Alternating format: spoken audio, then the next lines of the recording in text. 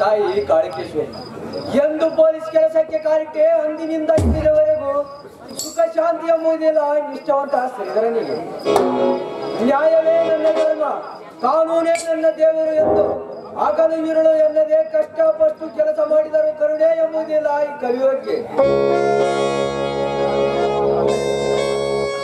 ಲಂಚದ ಆಸೆಗೆ ಶ್ರೀಮಂತರ ಕೈಚೀಲವಾಗಿ ದುಡಿಯುವವರಿಗೆ ಸಮಾಜದಲ್ಲಿ ಬೆಲೆ.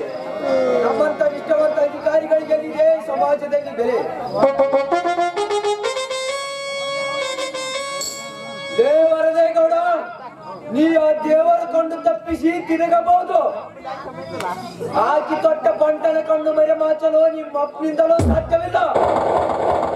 ಸರ್ಕಾರ ಕೊಟ್ಟ ಈ ಪಿಸ್ತೂಲಿನಿಂದ ನಿನ್ನ ಗುಂಡಿಗೆ ಹೊಡೆದು ಅಂಗದಲ್ಲಿ ರಕ್ತದ ಬಳಿ ಹರಸದಿದ್ದರೆ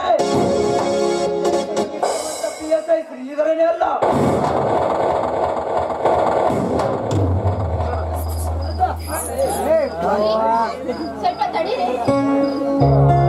ಶಿಲ್ಪ ನಿಲ್ಲುವುದಕ್ಕೆ ಈಗ ಸಮಯವಿಲ್ಲ ನನ್ನ ಮಾವನನ್ನು ಹುಡುಕಲು ಹೊರಟಿರುವೆ ನೀವು ನಿಮ್ಮ ಹೊರಟಿದ್ದೀರೋ ಏನೋ ನಿಜ. ಆದ್ರೆ ಸುದ್ದಿ ಮತ್ತೆ ಆ ಹತ್ರ ಹೋಗ್ಬೇಡಿ. ಬೇಡ ಶಿಲ್ಪ ಬೇಡ. ಮಾವ ನಾನು ಮನೆ ಹುಡುಕಿಕೊಂಡು ಬರುತ್ತೇನೆ. ರೀ ನೋಡಿ ತಿರುಗಿ ಮತ್ತೆ ನೀವು ಆ ವರದೇಗೌಡ ಹತ್ರ ಮಾತ್ರ ಹೋಗ್ಬೇಡಿ. ಹೇಳಿದ್ದೀನಿ ನೆನ್ಪಿಟ್ಕೊಳ್ಳಿ. ಶಿಲ್ಪ ನಾನೆಂದು ಈ ಭೂಮಿಗೆ ಮೇಲೆ ಜನಿಸಿದೆ ಅಂದೇ ಎಂಬ ಪದ ಸುತ್ತು ಹಾಕಿದ್ದೇನೆ.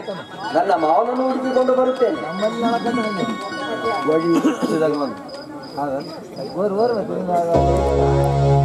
ಹೇ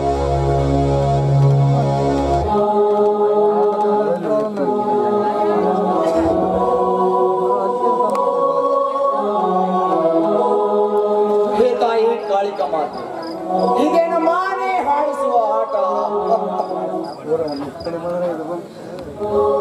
ಓಡ ಹುಟ್ಟದ ತಮ್ಮನನ್ನು ಜೈಲಿಗೆ ಕಳಿಸಿದೆ. ಕೈ ಹಿಡಿದ ಪತ್ನಿಯನ್ನ ಯಮನಕ್ಕೆ ಕಳಿಸಿ, ನನ್ನನ್ನು ಅನಾಥನಾಗಿ ಮಾಡಿದೆಯ ತಂದೆ?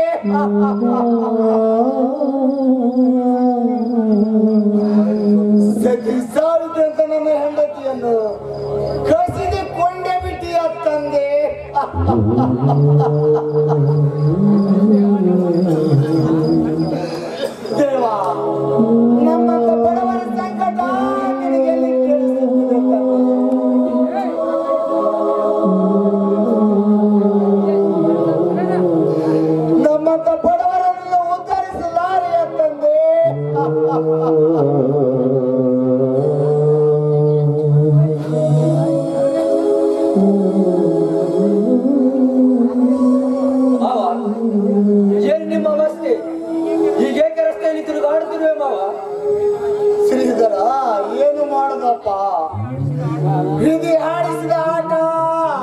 ಆಡಲೇಬೇಕಲ್ಲ ತನ್ನ ತಾಯಿ ಅಂದಿರುವ ಪಾರ್ವತನ ಕೊಂದು, ನನ್ನ ತಮ್ಮ ಕೊಲೆಗಾರನಾಗಿನಲ್ಲಪ್ಪ ತಪ್ಪು ತಪ್ಪು. ನೀವು ತಿಳಿದುಕೊಂಡಿರುವುದು ತಪ್ಪು. ಮಾವ ನನ್ನ ಅಕ್ಕನನ್ನು ಕೊಲೆ ಮಾಡಿದ್ದು ಪತ್ರಿ ಈ ಊರಿನಲ್ಲಿ ಎಷ್ಟೋ ಪುಂಡರಂತೆ ಮೆರೆಯುತ್ತಿರುವ ವರದೇಗೌಡ. ಪಾರ್ವತಿ ಅಂದರೆ ನನ್ನ ಅಕ್ಕನ ಕೊಲೆ ಮಾಡಿದ ದುಷ್ಟ ವರದೇಗೌಡ ಮಾವ ಏನು ಹೇಳುತ್ತಿರುವೆ ಶ್ರೀಧರ ಊರಿಗೆ ದೇವರೆಂದಿರುವ ಒದೆ ಕೊಡುವ ಕೊಲೆ ಮಾಡಲು ಸಾಧ್ಯವಿಲ್ಲಪ್ಪ ಎಂತ ಪವಿತ್ರ ಮಾತಾಡಿಬಿಟ್ಟೆ ಮಾವ? ಅಂತ ಕೆಟ್ಟ ಸೂಳ ಮಕ್ಕಳಿಗೆ ಇಂಥ ಮಾತು ಹೋಲಿಸಬೇಡ.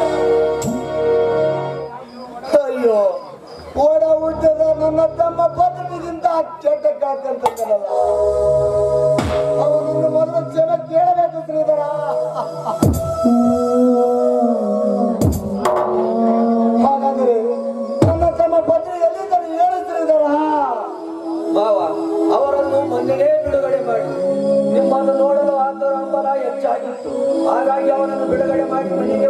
ಕಳಿಸಿದೆ ಆ ನಂತರ ಅವರು ಎಲ್ಲಿ ಹೋಗಿದ್ದಾರೋ ಎಲ್ಲಿ ಇರುತ್ತಾರೋ ಅಂತ ನನಗೆ ಒಂದೂ ಗೊತ್ತಿಲ್ಲ ಮಾವ. ಶ್ರೀಧರ ಏನು ತಿಳಿದ ಮುಕ್ತ ಜೀವಿ ನನ್ನ ತಮ್ಮನನ್ನು ಕೊಲೆಗಾರನಾಗಿ ಮಾಡಿದನಲ್ಲಪ್ಪ?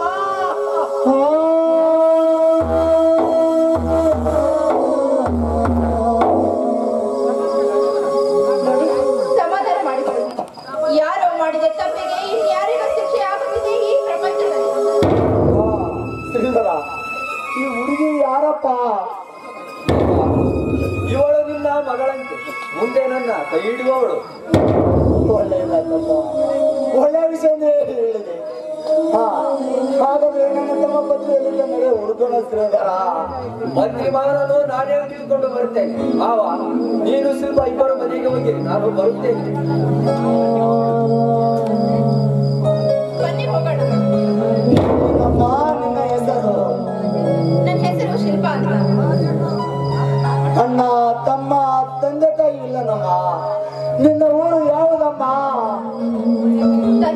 ನನಗೆ ಯಾರು ಇಲ್ಲ ಇದ್ದ ಒಬ್ಬ ಅಣ್ಣ ವಿಷಕಂಟಕನಾಗಿ ನಿಮ್ಮ ಸಂಸಾರಕ್ಕೂ ಅಥವಾ ಈ ಊರಿಗೂ ದುಷ್ಟನಾಗಿದ್ದ. ಅವನ ಹೆಸರು ಹೇಳುವುದಕ್ಕೂ ಕೂಡ ನನಗೆ ನಾಚಿಕೆಯಾಗುತ್ತದೆ ಅವನೇ ಹೊರಗೆ ಗೌಡ ಎಂತ ವಿಚಿತ್ರ ಮಾತನ್ನು ಕಿವಿಯಿಂದ ಕೇಳುವಂತೆ ಮಾಡಿದೆಯ ತಂದೆ. ಒಂದೇ ಹೊಟ್ಟೆಯಲ್ಲಿ ಹುಟ್ಟಿ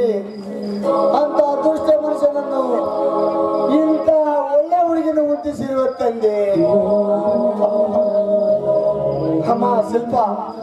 ಮನೆಗೆ ಹೋಗಿ ಮಾತಾಡೋದು ಬಾರಮ್ಮ ಹೋಗೋಣ